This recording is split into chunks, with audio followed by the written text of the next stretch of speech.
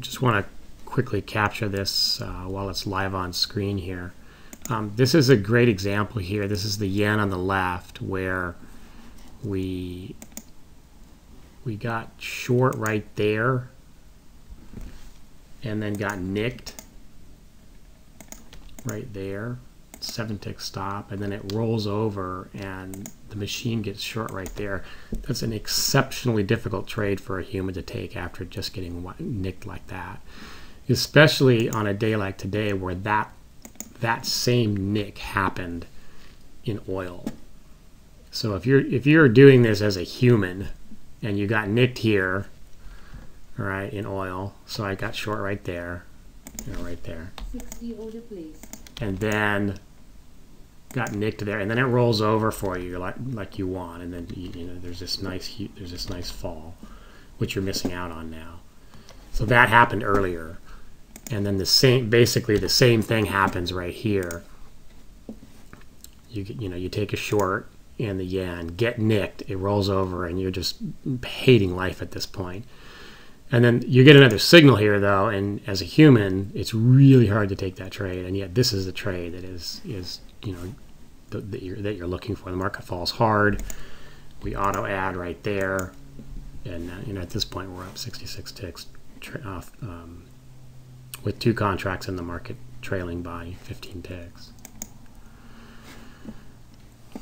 I think uh, the 6E just placed a trade as well. Yeah, short. So we'll see how that works out by the end of the day. But anyway, I just wanted to capture this. I, I don't normally do live trading anymore, but I happened to be looking at it when uh, when I saw this. All right, here we are at the end of the day. It's uh, almost seven, and the result of the trade that we were just watching live is here. So that, that's actually a pretty nice exit, right? Because um, the market does not roll back over and break our hearts by getting us out too soon. So we um, entered there, added there, and then we exit for plus 43 and plus 18. Okay, um, now the interesting thing about this is that just this weekend I was thinking, gosh, yeah, why should I, really should, uh, why am I even bothering trading the yen? Maybe I should, maybe I should just stop. And yet, so th this is what happens. And so if we look at the, um, at the activity for this for this market, what you see is, you know, small gain, nice run. Small loss, small loss, small gain, small loss, small loss, small loss, small gain, small loss, you know, big run. So that in in total, it's 430 across. What is that? Three three or four weeks.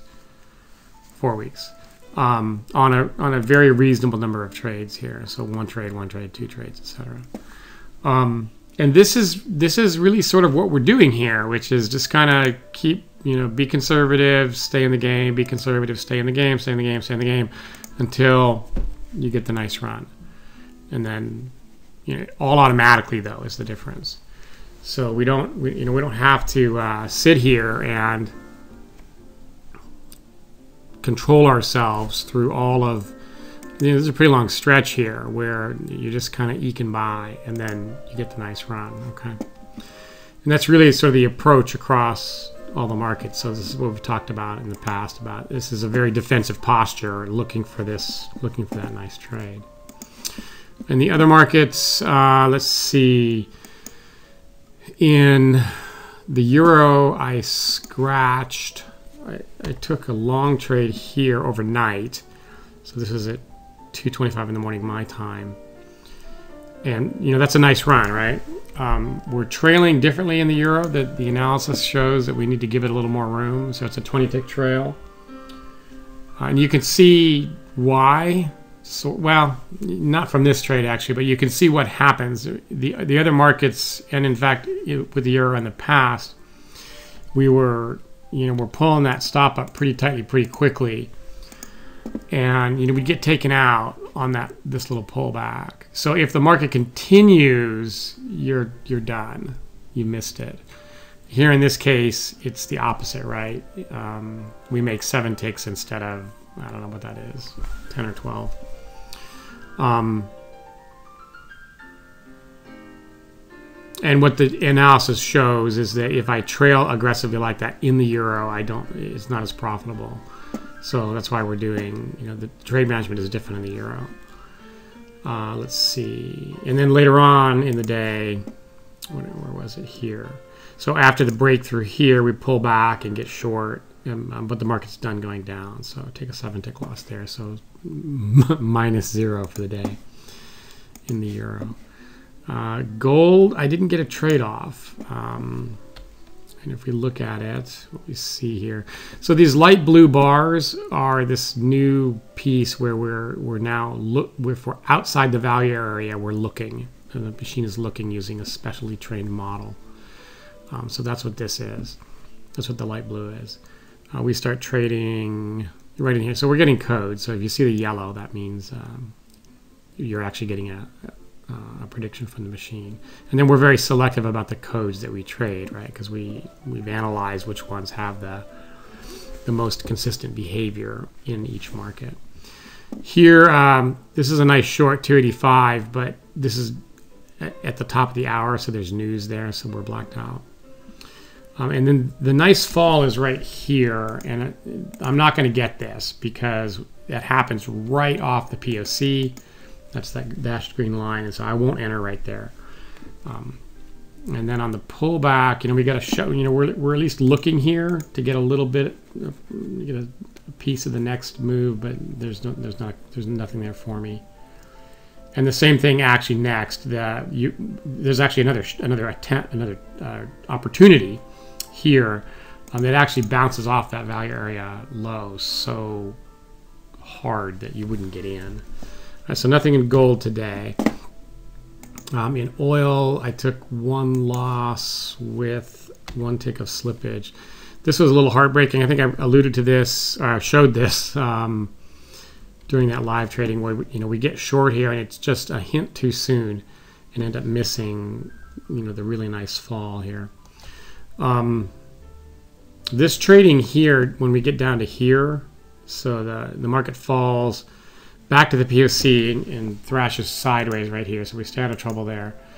And then uh, it gets, but the, the real problem that I, the thing that I worry about is when it reaches the value area low here and then starts just thrashing along it, uh, you can really get eaten alive when that happens. That's it's almost equivalent to uh, a choppy sideways market.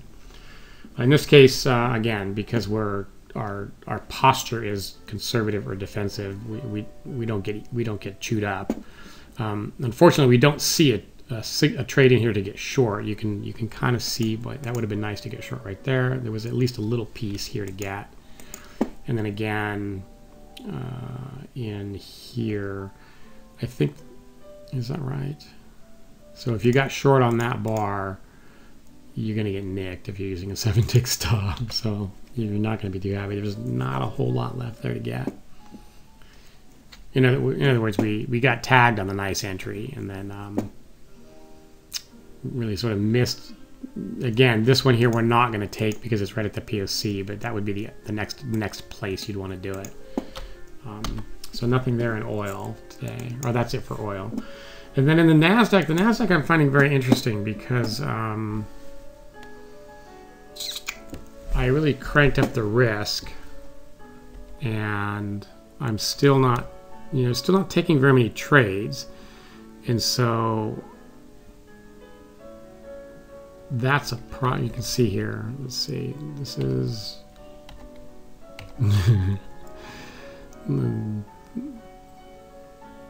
this is a little bit easier to trade than I, what I've seen recently. It's still tough. Um, you you can as a human you can kind of spot that that head and shoulders there. Um, this is brutal. Very difficult to do anything here. Um, I'm sure a lot of people got whacked there. Uh, and then this choppy ugliness over here, definitely want to stay out of. Um, as it happens, we get we get a signal there to get long, and what you want is a short. So we take a loss there. This is all in sim, by the way. Let's just remind you there, because I'm not willing to trade this live because I just don't. I'm going to talk in a minute about why I think, um, even though I've cranked up the risk, I'm still not seeing that many trades. Right? This is this is I think I think a total of three today, and um, I think the average trades per day is five or something, given the analysis. And so the this is the those two items are related in that. Do I have it listed here? Yeah, average trades per day is five. All right, so three. We saw three today. That's the most I've seen in a couple of weeks here. Um, if we look at, let's just look at what we've seen in terms of results in the Nasdaq Sim NQH9. And so, it, you know, it's minus 190 since 212 was when I started. So not, a couple weeks here. And given the amount of movement in the market, um, it that's good if you're losing money because it's not much. But with all that movement, you'd kind of you, you, are looking to make nice big runs, and you, certainly we haven't seen that in couple the last couple weeks. Here's the problem, I believe. So look, here's the daily chart of the Nasdaq. All right, and this, you know, this subgraph here is the average daily range um, on a 10, just a 10 period moving average, very, very simple. All right, and what we're seeing now, are we at the end here? Yeah, is that today? Yeah.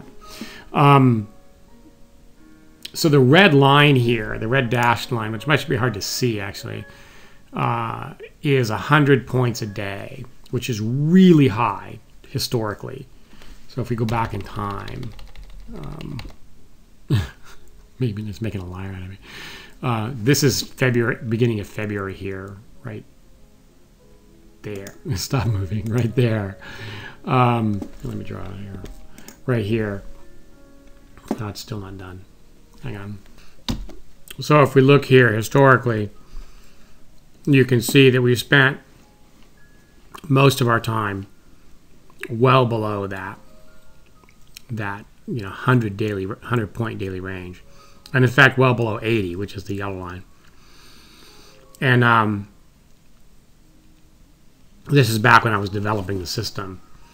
And occasionally you get these spikes right? And, and then in February of this year is when it when it really um, went berserk. And then we had a spike here in uh, actually i'm sorry it's right here.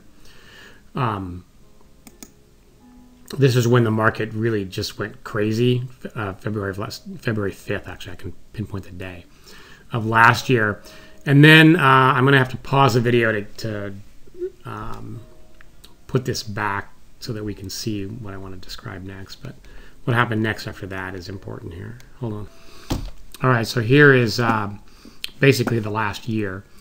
And right here is where the, the you know the kind of the wheels fell off the bus right here February 5th and then we you know we spiked up horribly and then it looked like it was going to be okay and then we spiked up again and it looks like it's going to be okay and it spikes up again all the time staying above 100 points per day and then it and it just kind of settles down into this sort of new normal between 80 and 100 so it's still really volatile and then it spikes up again and this is in uh, October, and stays really high until now. And you know, is is it? Are we going back to normal, or is it just going to settle back down into this this still really volatile range, but not not insane level? We don't know. The problem is that the machine learning system is trained on this previous data, um, and so this this the market is so volatile it's essentially random this is my my hypothesis and so it's not useful to predict the future right? If you're just if you're just looking at something random you, you might be able to find patterns. And in fact you do you can find patterns but they aren't predictive. And that's the problem. And so i'm concerned that not only does the market have to settle down before it's tradable, it has to settle down and stay settled down in order for me to uh, give the give the machine data to work with. Now, what will be interesting actually is if if the market does sort of drop below you know, you know, drop down to normal levels. If we go back and train it on you know, sort of normal times and use that, will that will that work better than you know what we normally do is train on on the latest data. So we're, we're going to have to see. But currently, after a couple of weeks here of, of, of mucking about with the the Nasdaq, I'm I'm not convinced the machine can trade it on the data that I'm giving it because the data I'm giving it to train on is there's too much randomness in it. All right, so you may or may not agree with that, but that's kind of what I'm seeing. We'll see. I'm going to give it a couple more weeks here, and then, we'll, then I'll decide what to do. Um, that's all the markets? Yeah. Okay, so that's it for today. Thanks.